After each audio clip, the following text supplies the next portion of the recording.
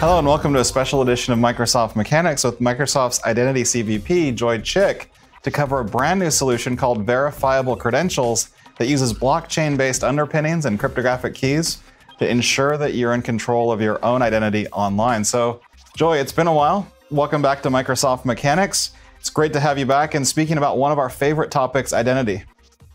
Thank you. It is great to be back. So, this whole topic of owning your own identity is more relevant than ever. Now, we've all heard stories or maybe even experienced times where our identities may have been compromised or even stolen. Yet, in the digital environment, it's hard to retain ownership of your identity once you've shared it. Right. And that problem compounds every time you give away personal information in exchange for a service, like bank account numbers and a proof of education or even an employment. And once you give it away, you can't take it back. It is part of your growing digital footprint. Think about all of the services that you sign into every day to enable day to day transactions, or your school ID, or employer issued IDs. Once you share your information, it is now in the custody of those different institutions. It is hard to keep track of, of, of the different accounts you can no longer control the data associated with them and you can't take them back. Okay, so how do things change then with verifiable credentials? This is one of the most exciting and transformative areas of innovation that we are contributing to at Microsoft. A verifiable credential is a piece of information that a third party can validate digitally in partnership with the open standards community, we're implementing an approach that's based on W3C standards for verifiable credentials and decentralized identifiers to help you share your verifiable credentials without giving up your privacy. No one company or institution can control or store your information centrally. You can revoke your verifiable credentials at any time Okay, so how does it all work? Let me explain with a real world example. There are three parties in this chain of trust the issuer, the subject, and a verifier. The issuer creates the verifiable credential. This can be an organization or entity that asserts information about you, like your employer or university. In this case, the issuer is the United States Department of Defense. The Navy MilGears program is piloting a solution to digitally issue verifiable credentials to each service member. They are the subjects who can now easily prove their skills to an accredited institution, what we call the verifier. This way, the subject can present credentials issued directly from the source. And as a result, hopefully accelerate their career. Okay, so can we see it? Yes, let me show you this in action. So here, MilGears has made its verifiable credential service available to service members through their portal. To retrieve credentials as a service member, I just need to securely authenticate. And once I'm signed in, I can access my service history, training, education, and credentials. I'm going to pick up where I left off. Now, if I scroll down, you'll see the individual digital record that the DoD is attesting in the verifiable credential. In this case, my high school graduation status. To accept and activate the credential as a service member, I can scan the QR code with a supported authenticator app. And in this case, is Microsoft Authenticator. This stores a unique private key. Although you cannot see it on my screen, it is sign me in with biometric proof. Scanning the QR code stores the verifiable credential in the digital wallet on my device. Next, to complete my university application as a service member, I need to submit my military credentials. On a participating university site, in this case, Trident, I just need to sign in with my usual username and a password. And in my case, I know I need to get my high school diploma verified. So I will click there. I will click here to verify, and that pops up a QR code. So I will scan that. And from there, I'm prompt to approve the request on my phone by tapping accept. And once I approve it, the university can now access my verifiable credentials within seconds. And the beauty of this approach is your authenticator app keeps a record of every time you share your credentials. Okay, so for this process to work, clearly there must be incentives then for each party.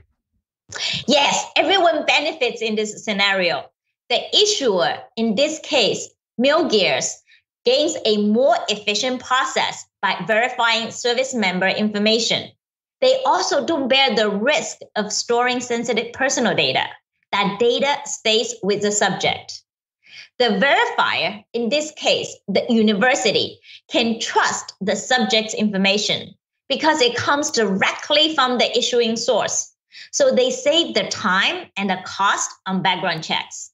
And as a subject or service member, I have control over my information and can revoke access to it at any time. As long as issuers and verifiers participating in this approach, you can prove anything about yourself while retaining full ownership of your digital footprint. And that's great because for this approach to take off, there has to be a high level of convenience really for all parties involved. But what's enabling the issuance and verification processes to work? Under the covers, we're using a blockchain based distributed ledger with crypto keys as an intermediary. To participate in this process, in Microsoft's implementation, the issuer uses Azure AD with Azure Key Vault to register a key pair to the blockchain. The verifier does this using the Verifiable Credential SDK. During this process, each party gets a unique decentralized identifier, or DID, that gets written to the ledger along with their associated public key. The subject uses the Authenticator app to generate a crypto key pair stored on their device. Once they accept their first credential, it is registered on the blockchain with a DID that is also associated with their public key. Okay, so this then allows all three entities to be looked up in a trusted manner, all while protecting their privacy. That's right. So, for example, when the service member approved the request for verification by scanning the QR code, it's passed the credentials to the university. The university was then able to verify the service members DID and the issuers DID by looking up the public keys in the distributed ledger. And all of this happens in just a few seconds. So it's very efficient and establishes a chain of trust across you, the issuer, and the verifier. But this is mechanics, so we're going to show you the key steps to get all this up and running starting with the issuer. Now, while this is based on open standards and could run anywhere, for Microsoft's implementation, you'll need a couple of services in place as the issuer. First, an Azure subscription and also Azure Active Directory Premium or Trial. You'll need to enable your Azure AD tenant for verifiable credentials, and this assigns you with the decentralized identifier DID and also equips your tenant with a service so that you can actually issue credentials. And you can learn more about all of this, by the way, at aka.ms slash did for devs. And also, you'll need an Azure Key Vault and storage account. That's right. And then you take just three steps to configure and issue verifiable credentials. The first step is to connect your tenant to the distributed ledger. Here in the Azure Key Vault, you will generate and manage a pair of crypto keys, one private and one public. Azure AD then publishes the DID and the public key to the distributed ledger to manage signing, recovery, and updates for your DID. Now, Azure AD customers can securely manage their keys to sign the verifiable credentials themselves. That's right. The second step is to configure the properties of your verifiable credential. To do this, you create a rules file, which is a simple JSON file that defines the properties for the verifiable credentials being issued. On the left are credential details from the Azure portal. And on the right is VS Code with the two key files we need to create one for rules and one for the card display. Let's start with the rules file. You will see that it includes the credential issuer's address that's mapped to their domain address. Much like traditional identity tokens, an issuer can choose to set an expiration for the credential, expressed in seconds. Next, it calls out the verifiable credential type and ties that to the learning record schema. So applications can decipher the transcript and map it to their own business process. And finally, the issuer can declare what the user must present to receive such a credential. This can be self attested information from filling out a digital form, for example. It can be one or more ID tokens, which can come from a traditional identity system like Facebook, Google, or a work account, or even verifiable credentials from some other issuers. And I noticed that this one was uh, actually branded as MilGears. So, how did you do that? For that, let's take a look at our card display file that to configure the look and the feel for the credential.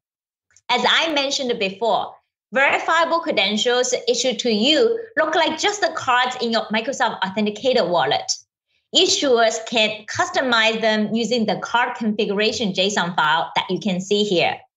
We're able to specify the card's color, icon, and the text strings to match the MilGears look and feel.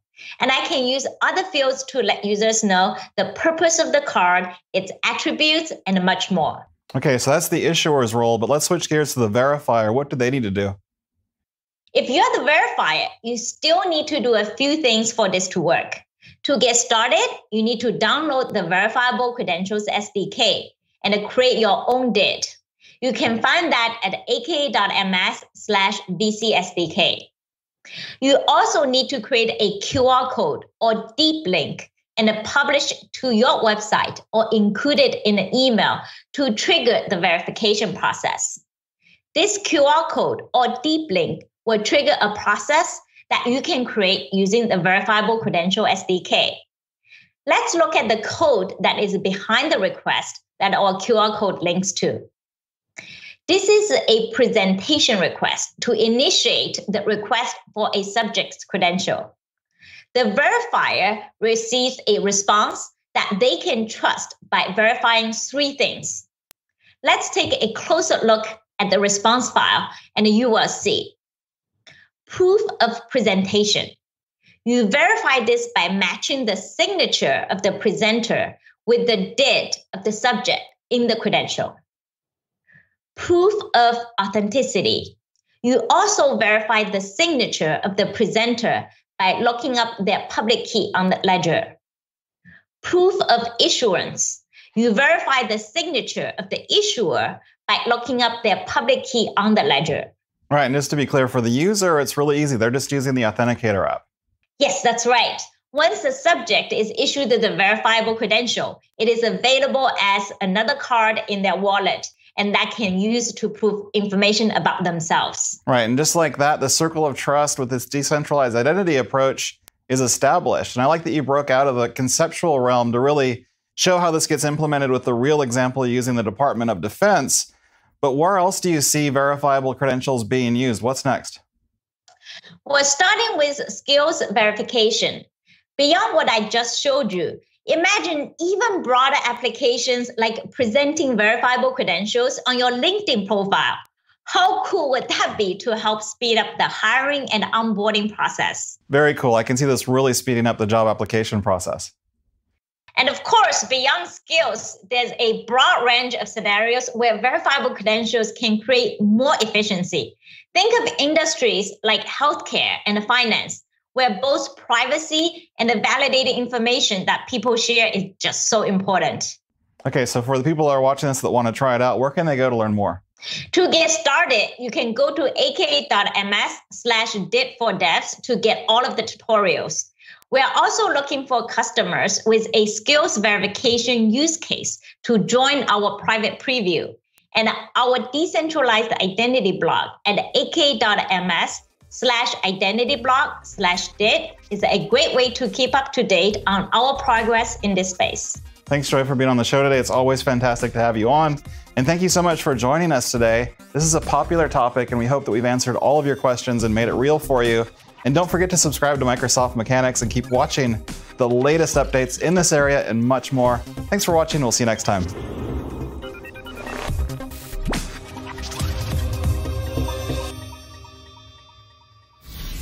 awesome